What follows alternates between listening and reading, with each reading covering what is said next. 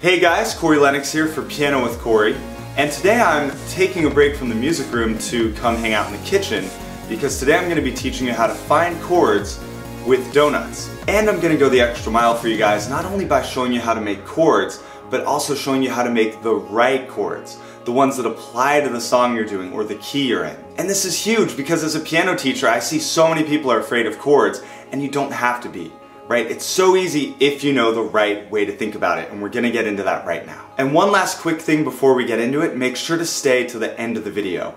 You're probably gonna get the hang of this pretty fast, but I'm gonna be sharing insights as we go along, and I don't want you guys to miss anything. It's donut time.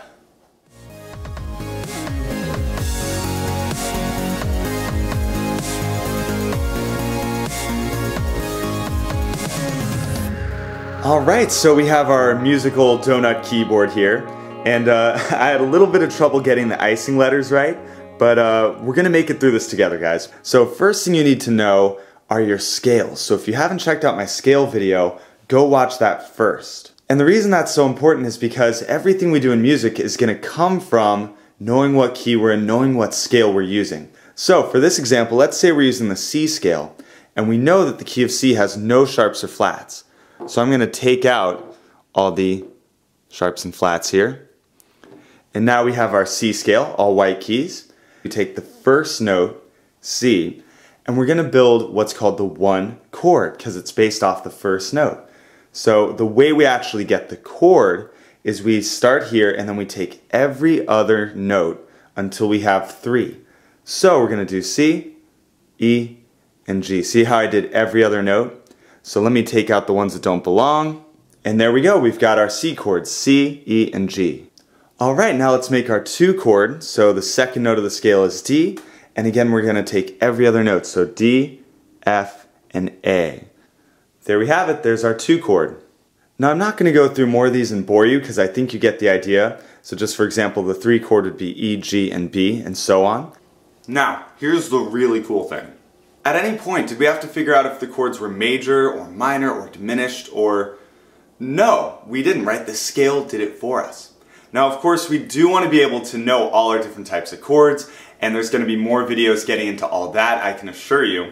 But uh, for today, this is just sort of a quick fix to get you in there, get you making chords in your key for either learning someone else's song or writing your own stuff.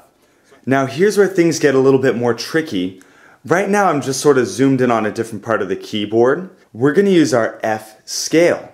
And from the scale video we know that the key of F has a B flat. So we're going to take out B natural and leave B flat. And that's the only black key we have.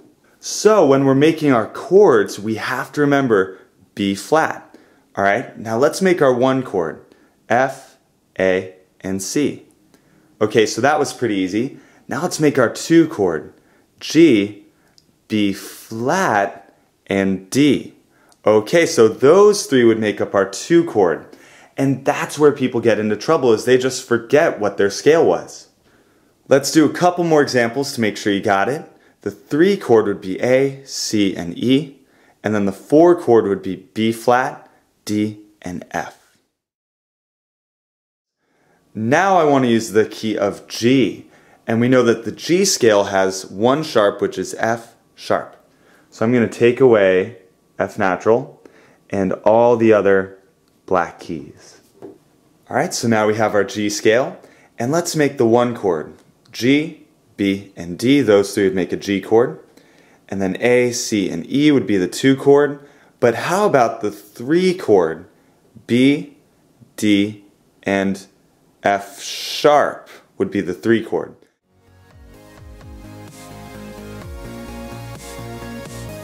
Alright, that's it for me today. I hope this video was helpful for you.